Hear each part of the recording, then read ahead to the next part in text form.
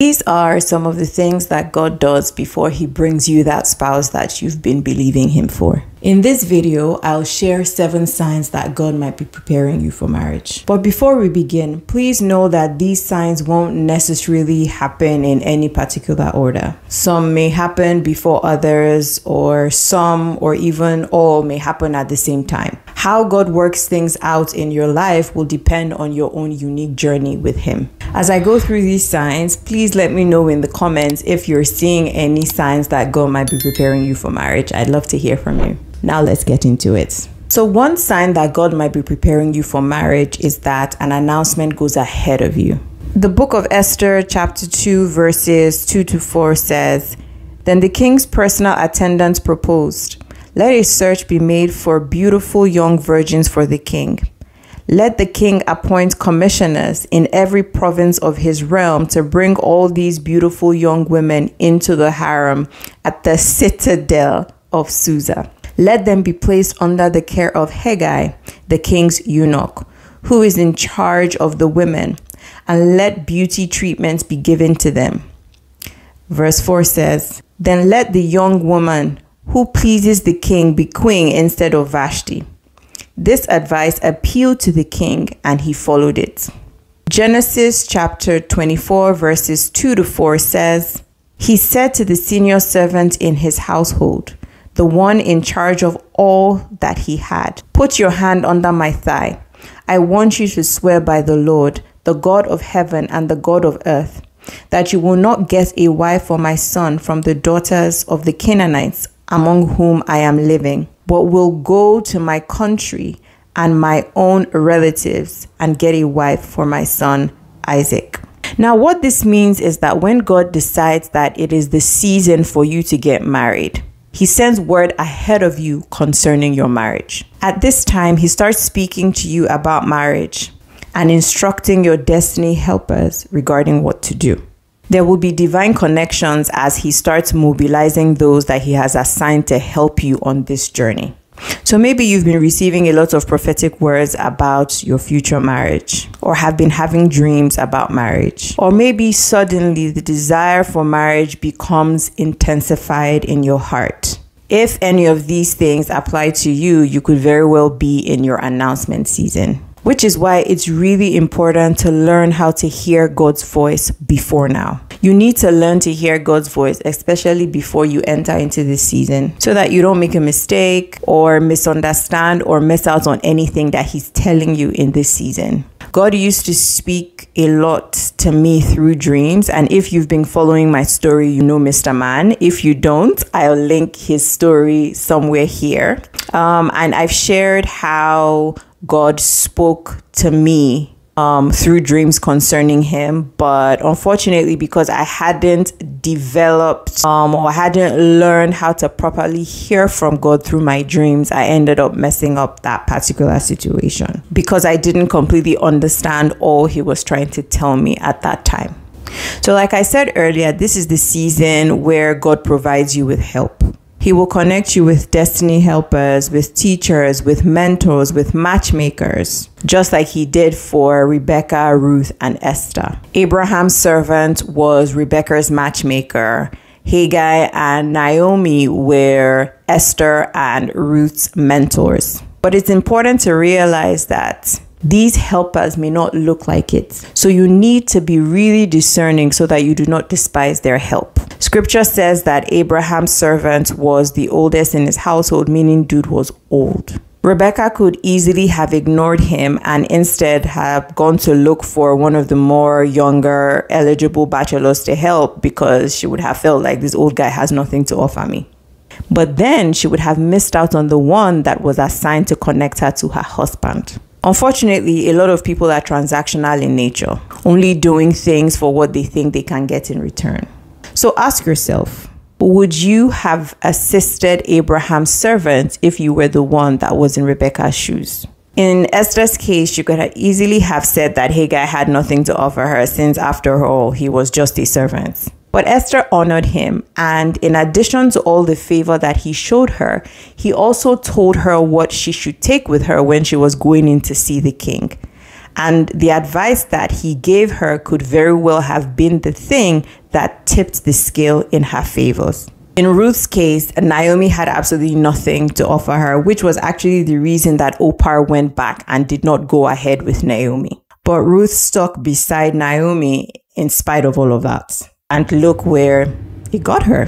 So do not despise your helpers, but you also need to be discerning enough to know whose help not to accept. I am reminded of King Rehoboam, Solomon's son, who listened to the wrong advice, which led to part of the kingdom being ripped from his hands. Please know that it's not when you enter into a season of marriage that God starts frantically looking around for people to help you. I find it really interesting that both Abraham's servants and Naomi were old they were both older than the people that they were supposed to be helping. So, no, this doesn't mean you should only accept help from old people, but I believe that it's symbolic of how far ahead God thinks, how He sets things in motion and put things in place even before you were born. Now, if Holy Spirit has highlighted me to you as one of the people that He has designated to help you, and you feel He is leading you to be mentored by me on your journey of preparation, then sign up to join the Revealed Bride community.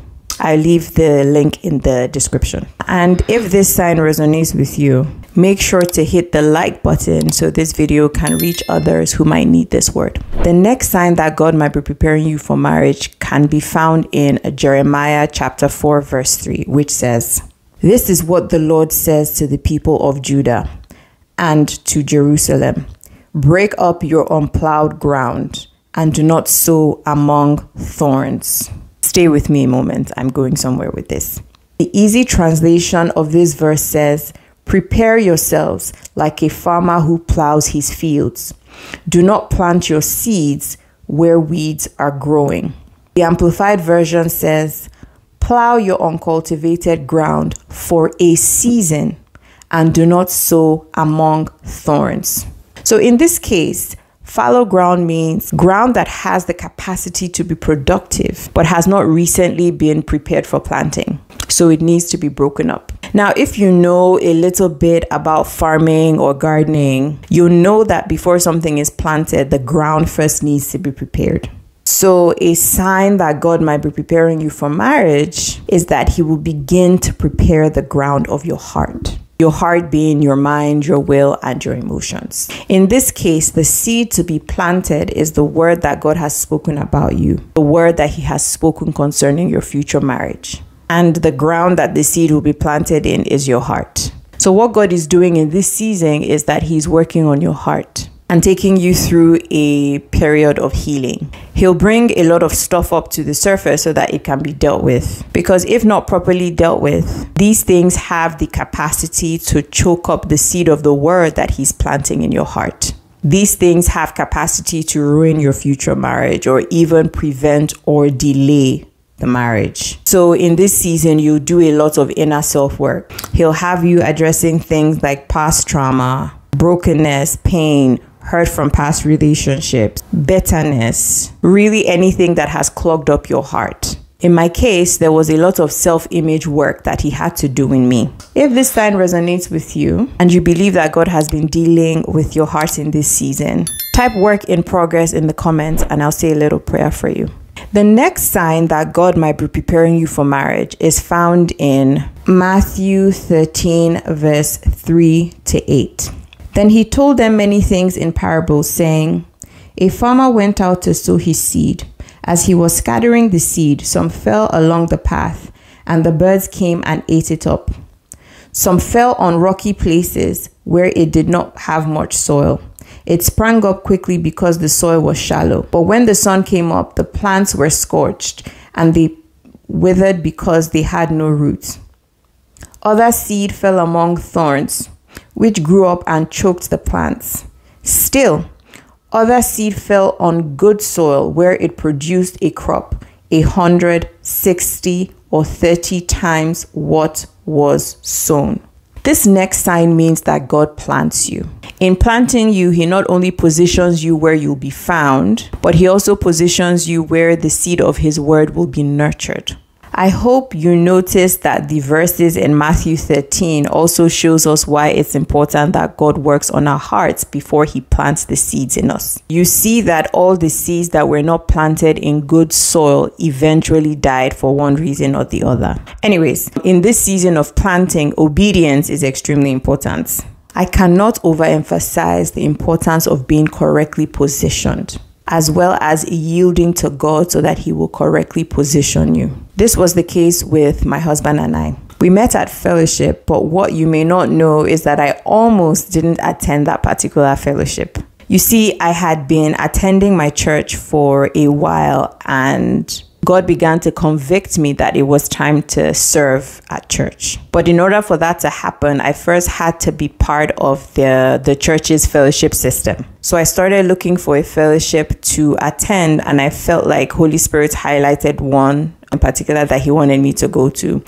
So I went there, and after fellowship, there was introductions going on and I remember the fellowship leader was there and the head of the fellowships in the area or in the sector, I can't remember, but someone really high up was also there. And when they asked where I lived, they were really shocked that, oh, that there were so many other fellowship centers that I could attend before that one. Now, the way they set up the structure is they wanted you to attend the fellowship really close to your house so that if the weather was really bad or there was anything, you wouldn't have any excuse not to be able to go because your fellowship was like really close to your place. So they were trying to encourage me to move somewhere closer to my house, but I felt like that was where Holy Spirit wanted me to be. So I stood my ground and insisted that was where I was going to stay. And a few months after that, my husband starts attending that fellowship. Now, in this video, Muyiwa goes more in depth about how he knew that I was the one. But for the purpose of this video, I'll just share a little bit of the story. I'll keep it as short as possible. So when God initially spoke to Muyiwa about me, he was a little bit hesitant because I wasn't his type. But as he began to think of all that he knew about me from the time that we had spent together in fellowship, he realized that I was exactly what he needed. If I ended up not attending that particular fellowship, Muyiwa and I could have met anywhere. But the time that we spent together at fellowship was necessary for him to get to know me and for him to subsequently recognize me as his wife if I had not yielded to God and allowed Him to plant me first in that church and then in that fellowship, Muyiwa and I may not be married today. And we see God do this in the lives of Rebecca and Ruth. At the time, Rebecca was supposed to be out fetching water. She was out fetching water and not trying to position herself with the younger, more eligible bachelors. It's also important to realize that positioning isn't necessarily a one off thing. It's a thing of constant obedience. For example, Ruth appears to have been positioned on multiple occasions. First, by returning with Naomi to the land of Judah, then by working on Boaz's field, then finally at Boaz's feet. There are a lot of people that should currently be positioned in the place of service, but they feel like things like that are beneath them. Meanwhile, this is the place where their future husband is supposed to find them. I know everyone gets really excited when we start talking about positioning because it signals that the waiting season might be coming to an end. But please know that positioning won't get you very far if you do not have the character to sustain it. Which leads us to the next sign that God might be preparing you for marriage, which is that He will prune you. Ruth chapter 2, verses 5 and 6 says, Boaz asked the overseer of his harvesters, Who does that young woman belong to? The overseer replied, She is the Moabite who came back from Moab with Naomi. Verse 11 tells us Boaz replied, I've been told all about what you have done for your mother in law since the death of your husband, how you left your father and mother and your homeland and came to live with a people you did not know before. So you see, before Boaz ever approached Ruth, he had observed her and inquired about her. and a good report of her was given to him. Yes, she was correctly positioned, but her character spoke for her. If Boaz had received a bad report about her, things would probably have been dead on arrival, and that would just have been the end of things. So ask yourself if anyone inquires about you right now, what report would they receive? And this isn't to discourage anyone if you've had a not so good past or whatever. That is what this season is for, for God to prune you. So, a sign that you should look out for that God might be preparing you for marriage is that He's pruning you. And in pruning you, He's working on your character. He will strip you of character traits that do not line up with where He's taking you. And at the same time, He will build up the fruit of the Spirit within you. Your character will be pruned and tested, just like um, Rebecca's character was tested when Abraham's servant asked her for a drink of water. What he was actually testing for was kindness. This is also the season where God will teach you patience. Oh, your patience will be tested.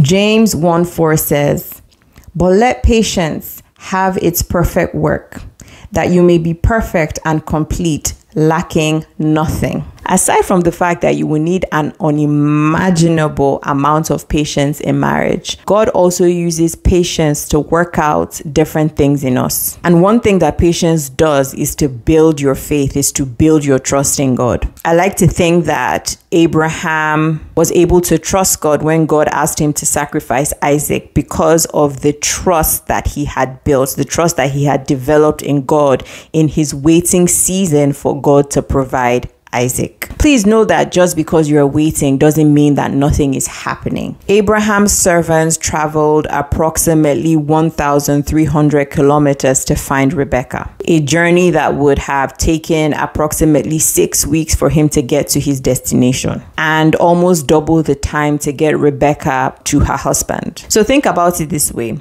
Rebecca may have been believing God for a husband and wondering why it was taking so long, but she didn't even realize that Abraham's servant, a person that would connect her to her husband, was already on his way to her, a journey that took him six weeks. Even when he got there and the news came that, oh, yes, you're getting married, you're going to be getting married and I'm taking you to your husband, it wasn't an immediate thing. She still had to journey an additional 12 weeks to get to Isaac. And it's the same for you. You might have been waiting on God for a while, but know that God is working. This is also the season in which He will change your identity. In Ruth chapter 2, verse 6, we see that Ruth was first described as a Moabitess, which was the identity of her past. But by Ruth chapter 3, verse 11, we see her described as a virtuous woman. Please know that pruning does not mean perfection. You will not become perfect by any stretch of the imagination. God is not looking for perfection, but God is working on you to get you to the level where you will not break or destroy or abort or delay the thing that He is preparing for you. Another sign that God might be preparing you for marriage is that you will be watered with the word of God. So, in addition to pruning your character, He will also grow you spiritually. If you're enjoying this video so far, don't forget to hit the subscribe button and turn on the notification so that you never miss a new video. Also, please give this video a thumbs up if it has been helpful to you. Another sign that God might be preparing you for marriage is that He will protect you from weeds.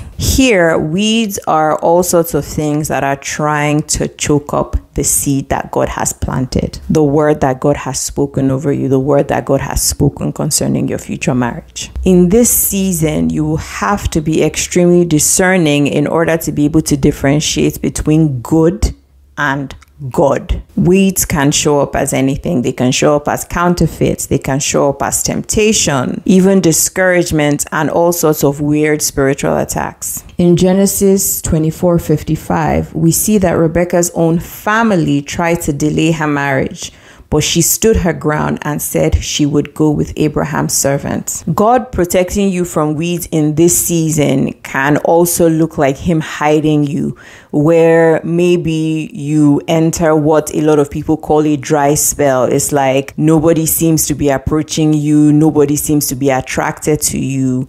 A lot of people consider it to be sort of like God hiding you in his secret place, pre- protecting you from counterfeits, protecting you from wolves in sheep's clothing as he prepares you if you feel like you're in this season, please know that the closer you get to birthing, more painful the birth pangs. Another sign that God might be preparing you for marriage is that you suddenly start glowing. Some people call the glory of marriage. It's like you were previously hidden, but God has now brought you out, and all of a sudden, all sorts of people start getting attracted to you, much more than usual. So maybe for a while you felt like there were no prospects in sight. Then suddenly all sorts of people, maybe even your male friends who were not previously interested, start showing interest. When this begins to happen, again, you need to be extremely discerning to be able to discern between good and God. Because not every good thing or good person that approaches you is your God person. Some of them might be counterfeits, some of them might be wolves in sheep clothing,